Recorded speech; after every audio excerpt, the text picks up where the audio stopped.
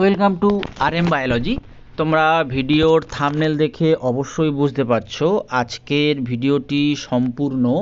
তোমাদের ANM GNM দু হাজার বাইশ যে পরীক্ষাটি হতে চলেছে, তার জীবন বিজ্ঞানের কিছু গুরুত্বপূর্ণ প্রশ্ন, যেগুলো তোমরা তোমাদের পরীক্ষায় কিন্তু একদম পুরোপুরি কমন পেতে পারো। সেই বাইশটা প্রশ্ন নিয়ে আজকের ভিডিওটি সাজানো। এর আগে যে সমস্ত ভিডিও হয়েছে, অর্থাৎ আগে তিনটে ক্লাস হয়েছে, জীবনবিজ্ঞানের দুটো এবং ভৌতবিজ্ঞানের একটা, এই ভিডিও ডেসক্রিপশান বক্সে সেই ভিডিও লিঙ্কগুলো দেওয়া আছে, তোমরা সেখান থেকে দেখে নিতে পারো এবং ডেসক্রিপশান বক্সে দেওয়া টেলিগ্রাম লিঙ্কেও তোমরা যুক্ত হতে পারো, সেখানে কুইজ হয় কুইজে অংশগ্রহণ করতে পারো। তো চলো আজকের ভিডিওটি শুরু করা যাক। যারা চ্যানেল নতুন চ্যানেলটি সাবস্ক্রাইব করে নিও এবং বেল বাটনটি বাজিয়ে দিও। দেখো, তোমরা তোমাদের স্ক্রিনে প্রথম প্রশ্নটি দেখতে পাচ্ছ। প্রথম প্রশ্নটি দেখো প্রভু গ্রন্থির প্রভু বলা হয় কাকে? হাইপোথ্যালামাসকে। পরের প্রশ্ন, ডিএনএ গঠন আবিষ্কার করেন ওয়াটসন ও ক্রিক। তারপরে, হিমোফিলিয়ার জন্য দায়ী জিনটি হলো এক্স রেসেসিভ বা এক্স প্রচ্ছন্ন।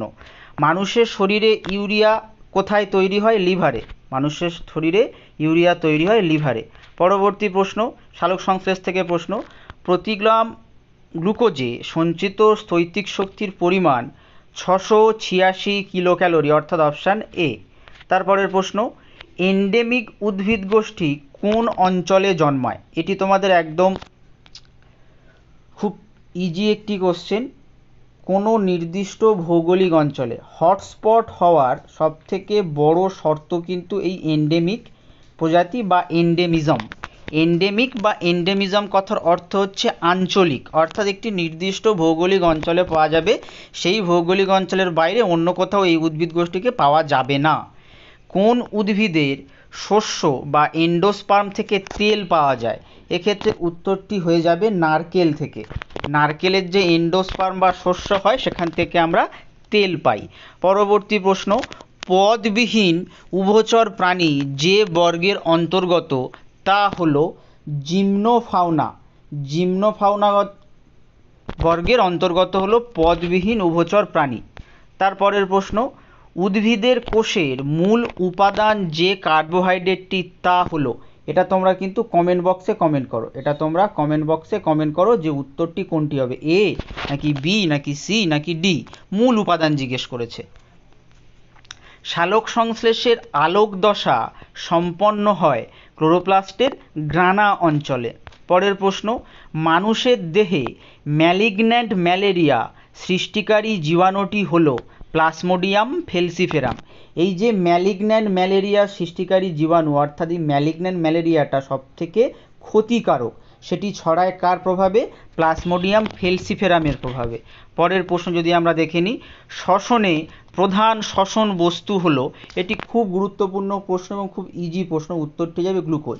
তোমাদের এক্ষেত্রে একটা ট্রিক্স বলে রাখি। দেখো, যদি তোমাদের এরকম কিছু দেয়া থাকে, একটি ব্ল্যাঙ্ক এবং শব্দটি শেষ হচ্ছে ওস দিয়ে ও এস ই সেক্ষেত্রে সেটি কি হয়ে যাবে? কার্বোহাইড্রেট সেক্ষেত্রে সেটি কি? কার্বোহাইড্রেট এবং একইভাবে যদি ব্ল্যাঙ্ক এবং তারপরে ওয়ার্ডটি শেষ হয় এস দিয়ে, সেটি কি হয়ে যাবে? উৎসেচক। যদি ওস দিয়ে শেষ হয়, সেটি হবে কার্বোহাইড্রেট এবং এস দিয়ে শেষ হলে সেটি হবে কি? উৎসেচক। এক্ষেত্রে উত্তরটি কি হয়ে যাবে? গ্লুকোজ। পরবর্তী প্রশ্ন যদি আমরা দেখি, যে উপাদান রক্ত জমাট বাঁধতে সাহায্য করে তা হলো ভিটামিন কে? খুব খুব গুরুত্বপূর্ণ একটি প্রশ্ন। খুব খুব গুরুত্বপূর্ণ একটি প্রশ্ন তোমাদের পরীক্ষার জন্য। যে উপাদান রক্ত জমাট বাঁধতে সাহায্য করে তা হলো ভিটামিন কে? হৃদপেশি ক্লান্ত হয় না কেন? এটিও তোমরা কিন্তু কমেন্ট বক্সে কমেন্ট করো। দুটো তোমাদের হোমওয়ার্ক থাকল, তোমরা কমেন্ট বক্সে কমেন্ট করো যে হৃদপেশি ক্লান্ত হয় না কেন? পরবর্তী প্রশ্ন, তিমি মাছের শ্বাসযন্ত্রটি হলো ফুসফুস। পরের প্রশ্ন, পাকস্থলীর গ্যাস্ট্রিক গ্রন্থি থেকে উৎপন্ন উৎসেচকটি হলো পেপসিন। পরের প্রশ্ন, জরায়ু সংকোচন ঘটিয়ে শিশুর জন্ম হতে সাহায্য করে কোন হরমোনটি? অক্সিটোসিন। এটি ঘুরিয়ে প্রশ্ন আসতে পারে, বার্থ হরমোন বার্থ হরমোন বা এটাকে আমরা প্রসবকালীন হরমোনও বলি, প্রসবকালীন হরমোন। সেই হরমোনটির নাম কি? প্রসবকালীন হরমোনের নাম কি? উত্তরটি কি হয়ে যাবে? অক্সিটোসিন। উত্তরটি হয়ে যাবে অক্সিটোসিন।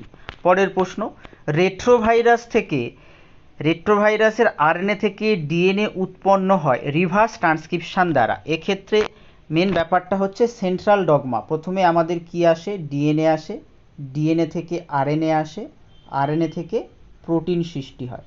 এই পুরো প্রসেসটাকে আমরা সেন্ট্রাল ডগমা নামে জানি।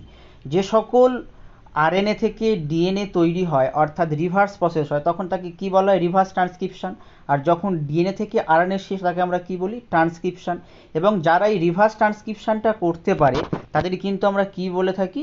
রেট্রো ভাইরাস বলে থাকি। যে সমস্ত ভাইরাস রিভার্স ট্রান্সক্রিপশন করতে পারে, তাদেরকে আমরা রেট্রো ভাইরাস বলি। তাহলে এক্ষেত্রে উত্তরটি কি হয়ে যাবে? উত্তরটি হয়ে যাবে রিভার্স ট্রান্সক্রিপশন তাহলে তোমাদের আরও একটি কাজ দিচ্ছি। তোমরা কমেন্ট বক্সে আমাকে কমেন্ট করে জানাবে যে রেট্রোভাইরাসের কয়েকটি উদাহরণ কি কি হতে পারে। পরবর্তী প্রশ্ন সাকসিনিক অ্যাসিড ডিহাইড্রোজিনেজ দ্বারা তৈরি করা হয় কি? ফিউমেরিক অ্যাসিড অর্থাৎ অপশান ডি সর্বাপেক্ষা কম সালোক সংশ্লেষ হয় সবুজ বর্ণের আলোয়। সর্বাপেক্ষা কম হয় সব থেকে বেশি হয় লাল আলোয়, তার থেকে একটু কম হয় নীল আলোয়। যদি প্রশ্ন আসে যে কোন কোন আলোয় সালোক সংশ্লেষের হার মোটামুটি সমান থাকে বা সর্বাধিক থাকে, সেক্ষেত্রে উত্তরটি হয়ে যাবে লাল ও নীল। লাল ও নীল আলোতে সালোক সংশ্লেষটা খুবই ভালো হয়। কিসের দ্বারা প্রাথমিক এবং গৌণ বিধি বাধাপ্রাপ্ত হয়? এক্ষেত্রে উত্তরটি হয়ে যাবে অ্যাপসিসিক অ্যাসিড। এটি উদ্ভিদ হরমোন থেকে তোমাদের প্রশ্ন। কিসের দ্বারা প্রাথমিক এবং গৌণ বৃদ্ধি বাধাপ্রাপ্ত হয়? অ্যাপসিসিক অ্যাসিডের দ্বারা। পাখির ডানা ও সম ও পতঙ্গের ডানা হলো সমবৃত্তীয় অঙ্গ। এই পর্যন্ত এই যে বাইশটা প্রশ্ন তোমাদের জন্য অত্যন্ত গুরুত্বপূর্ণ প্রশ্ন, তার মধ্যে তোমাদের আমি যে কটি কাজ দিলাম রেট্রোভাইরাসের কয়েকটা উদাহরণ তোমরা দেবে কমেন্ট বক্সে তারপরে তোমাদের আরও একটি যে কাজটা দিয়েছি, হৃৎপেশি কেন ক্লান্ত হয় না, সেটার উত্তর তোমরা কমেন্ট বক্সে দিয়ে দেবে। তারপরে শ্বসনে প্রধান বস্তু, দেখে নাও। তারপরে দেখো, এই যে প্রশ্নটি আছে, উদ্ভিদ কোষের মূল উপাদানের কার্বোহাইড্রেটটি তা হলো, এটি তোমরা কমেন্ট বক্সে কমেন্ট করবে। আজকের ভিডিওটি এই পর্যন্ত।